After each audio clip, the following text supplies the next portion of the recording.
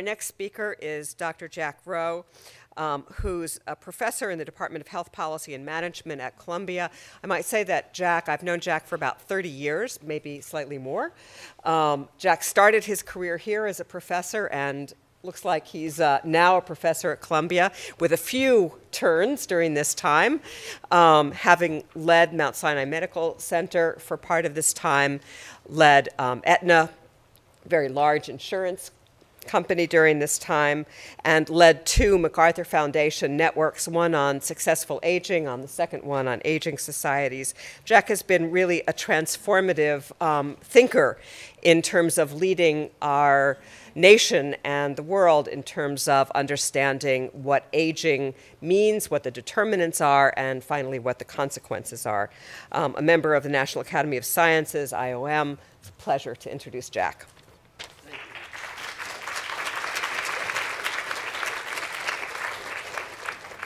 Here's my talk. I promise you'll be at lunch soon. Oops, did I do something? Sooner than we thought. There we go. Uh, there was a pointer, which people have been using. Did you take it? Why do you have it? Um, okay. Delighted to be here. Thanks for including me. You've heard uh, a bit about aging societies already, so I won't uh, uh, dwell very much on uh, the facts about global aging. But as we think about aging societies, uh, we have uh, several important goals for them. We would like them to be productive. That is, we would like them to be able to produce the goods and services that are going to be needed by the population. Obviously, that's a challenge as a proportion of retirees or pensioners, as you saw in some slides, gets to be so much greater than uh, those employed. We would like them to be equitable. Perhaps we'll hear some uh, about this from Michael Marmot after lunch, but you know, we want them to be fair. And we see an increasing gap between the haves and the have nots. We would like them to be cohesive. We would like to avoid tension and rifts between generations as they fight over sparse resources.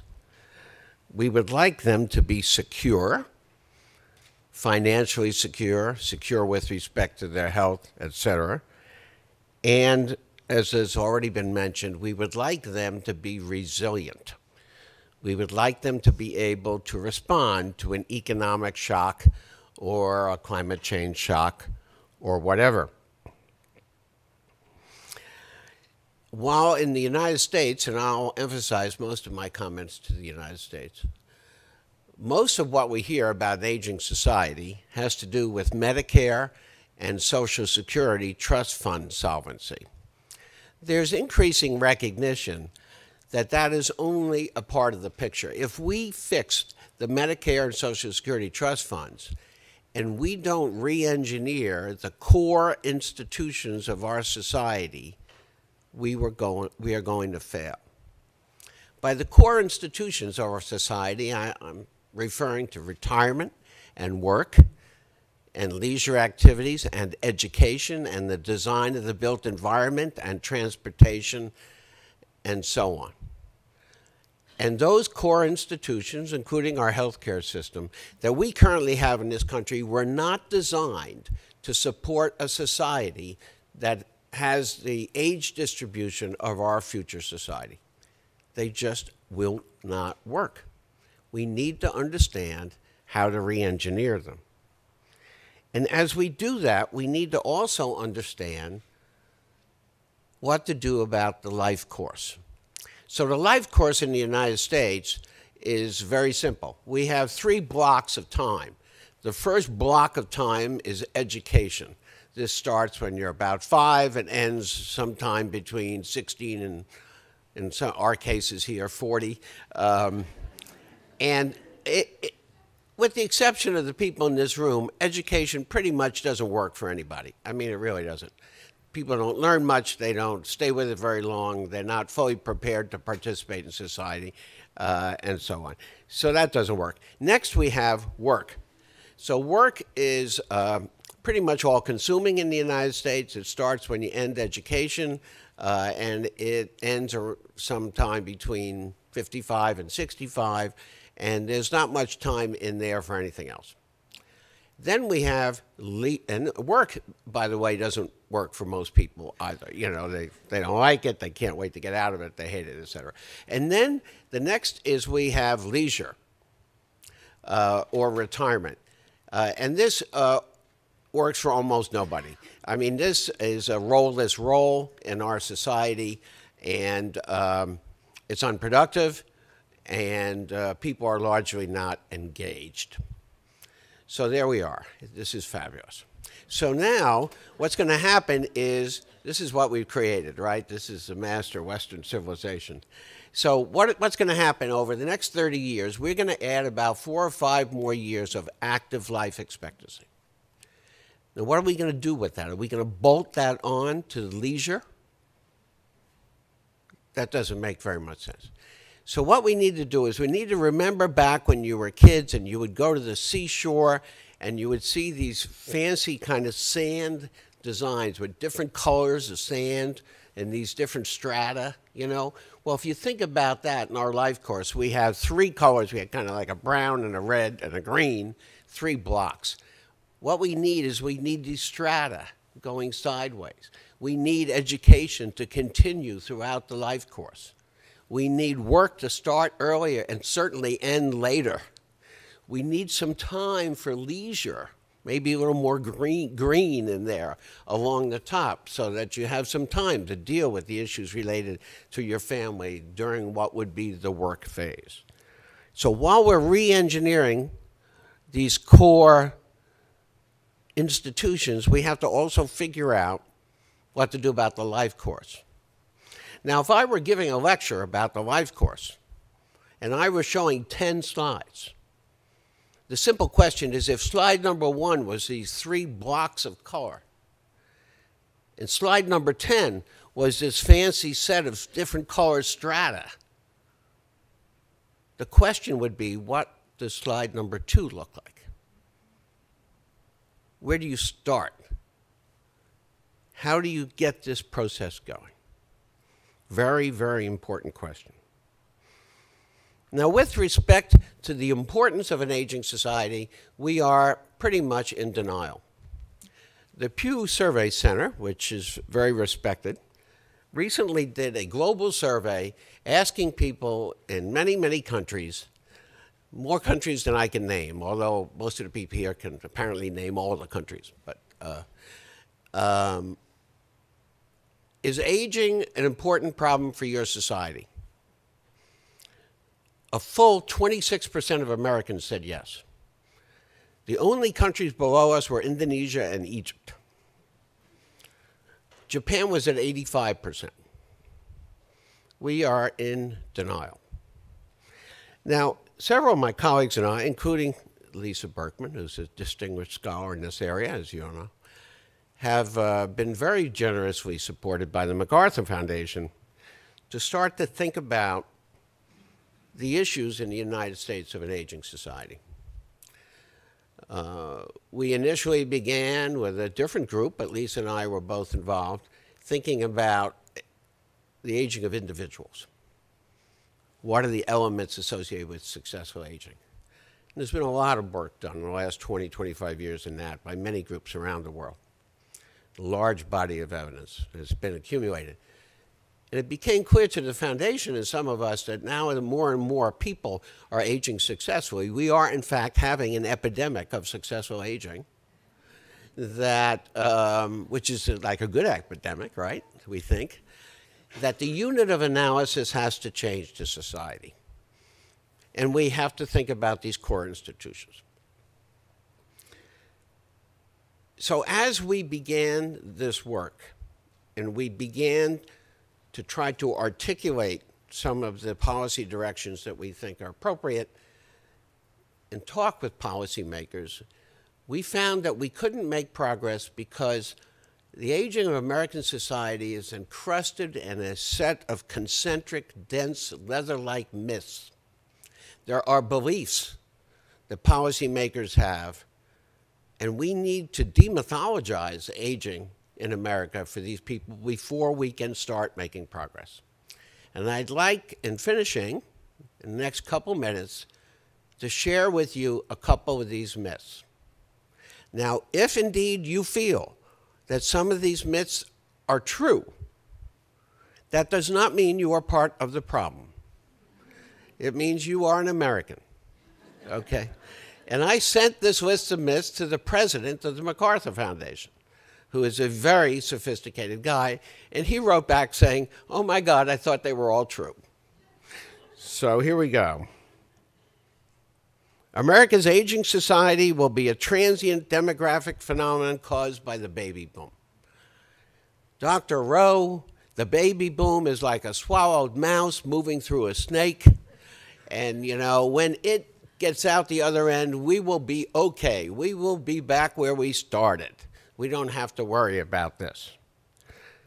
And this is a variant, the U.S. variant. Of, I don't have videos, but, you know, I'm from Columbia. We our endowment is somewhat smaller than. but uh, this is a this is a traditional. Uh, you know, here uh, this is really kind of cool. Actually, uh, this purple area is the age pyramid, which was 1900, and this is a traditional. Uh, women are on the right and men are on the wrong, uh, and. Um, and then what you see right down here, 1950, is the bottom age group, 0 to 5. You see this little blip, and that, of course, is the, the first uh, portion of the baby boom cohort. And you see by uh, 2000 here that here's the baby boomers up here, uh, and uh, they're moving up. And by 2050, the very last them is gone. And if you remove that, and this is everyone over 85, I think, on this slide uh, this bar. Uh, what you have here is a conversion to a very rectangular uh, age distribution. There has been a dramatic increase in life expectancy in addition uh, to this baby boom cohort. One interesting thing from a population dynamics point of view is uh, that this, um, the fact that this baby boom is moving up is, uh, is resulting in our aging society experience being accelerated compared to the aging society experience of a lot of Western European countries. So we, while we can learn from some of the things that they've done right and wrong, we are going to have to change pretty quickly. And it's a little scary that we're already at this stage and only 26% of the people in America think we have a problem. Um, to be old is to have diminished capacity this is really an important myth because one of the solutions is to get more older people in the workforce for a longer period of time. And you're not going to establish policies to do that if you're convinced that old people can't work. And the fact is that there was, for over 20 years, a significant reduction in the age specific disability rates and pretty much leveled off around 2002 but here are some uh, data from the National Health Interview Survey showing the proportion of people who uh, rated themselves as only having fair or poor health, which is the bottom two of four estimates of self reported health. And what you see here out at age 65 is that um, the in 1982, about 35% uh, of the people were not in particularly good health by their self report, which is pretty reliable. And by 2002, this was down to 20%, which means there were like six or eight or 10 billion additional fit older people than there would have been had the disability rates not changed. Very significant change. The key age group in an aging society is the elderly. This is, in fact, a myth. That's right. It's a myth. And just not a trick slide, it's a myth. And, and, and, and the point here is we need to think about society and the interaction of different age groups. So, what happened in Western Europe? They aged ahead of us because they had a baby bust after World War II and we had a baby boom. And they had huge pressure on their entitlements and their social welfare systems for older persons.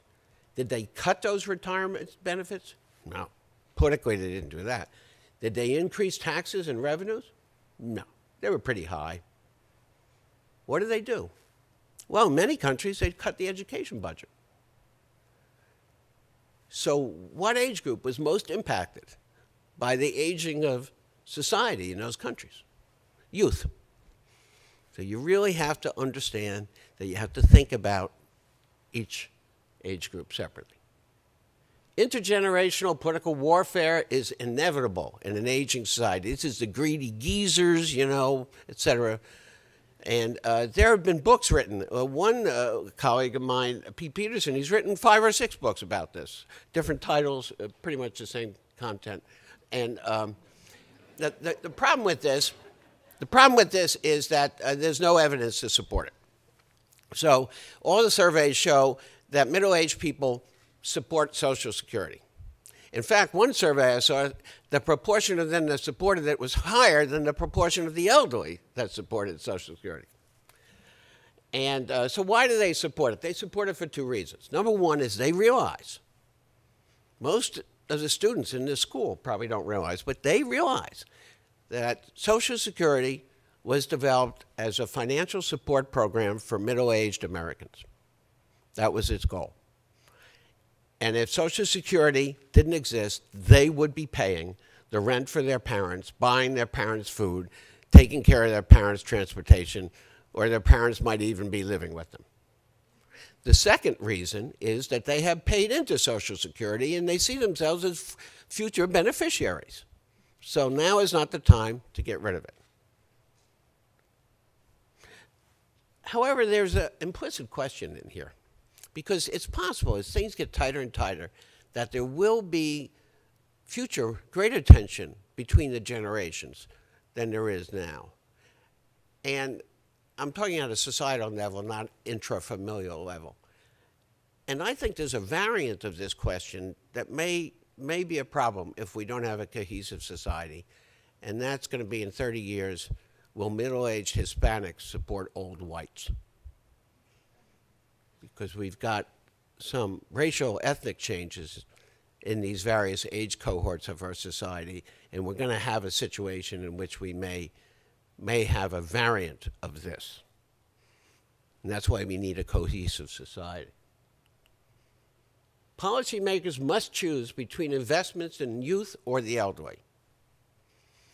And the thing, one of the things that drives me crazy is that advocates for children write articles about this is the only generation worth investing in, and it's like they want to put the rest of us out on an ice floe somewhere, you know, or something. Why don't they like focus on the defense budget, and cut that? Why, why do they have to try to pit one generation against another? And and uh, Lisa pointed out to me some years ago uh, an outstanding study that was done. Um, in South Africa looking at these uh, social welfare benefits for older individuals after apartheid, and many of these uh, families had worked in agriculture all their lives. They hadn't built up any equity, and, and uh, an economist at MIT, Esther Duflo, uh, distinguished economist, uh, observed that in the households, these are all multi-generational households, there's often no grandfather or even father, but there's a grandmother. And then in the households where the, the, the welfare checks went to the mother, the granddaughters were taller and did better in school. Uh, you know, they had more to eat and they had more time to go to school and they didn't have to go work in the fields. Those are transgenerational effects. You don't have to necessarily choose between one generation and another. You can try to develop policies that are win win. Almost done? You're doing great. Just another minute or two. The principal problems of an aging society relate to Social Security and Medicare, Medicaid. As you all probably know, the unfunded potential liabilities in Medicare are seven times that of Social Security. The Social Security problem can be relatively easily fixed.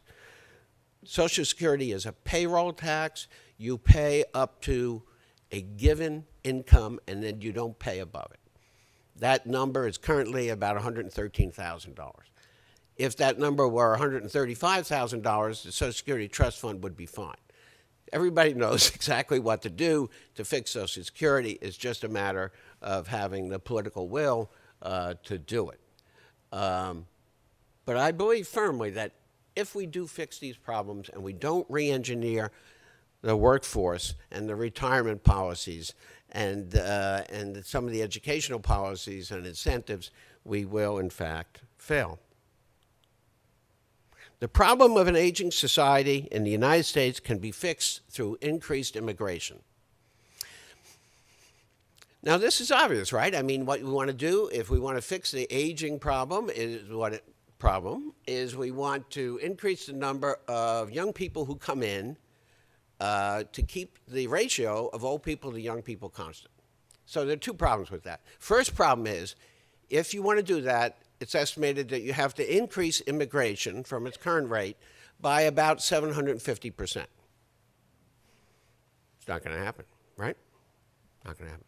The second problem, even if you do that, is that it has recently been proven that immigrants age. So that once they get in the population, they actually move up. So you have to keep increasing the immigration rate in order to compensate for that effect, unless you can do something about that. Here's one of the, this is a hardy perennial, this, this one, this really is. Um, old workers must leave the workforce to make room for younger workers. What could make more sense than this? And, you know, years ago in economic textbooks, you would see this, and it was called the lump of labor hypothesis. There is a lump of labor, and it has to be done by people. And if there are old people doing some of it, then there's no room for young people. Some very, very nice work uh, in the United States by uh, David Wise, a professor here at Harvard, and Jonathan Gruber down the street. And in Europe by Axel Börsch-Supan of the Max Planck Institute and others have pretty well demonstrated that this is uh, not true. And so the textbooks now call this the lump of labor fallacy not the lump of labor hypothesis. There's no clear evidence for reciprocity between employment, rate, employment rates and older workers and younger workers. It's one of these things where the strong economies uh, lift all the ships and vice versa. And uh, I'm not saying this doesn't happen in some particular instances. Um, and I, I um, as Lisa mentioned in passing, I, I had a couple jobs in my career where I had a lot of employees. I had 45, 50,000 employees, not-for-profit institution I ran, and then in a for-profit institution I ran. And so I dealt with this issue all the time.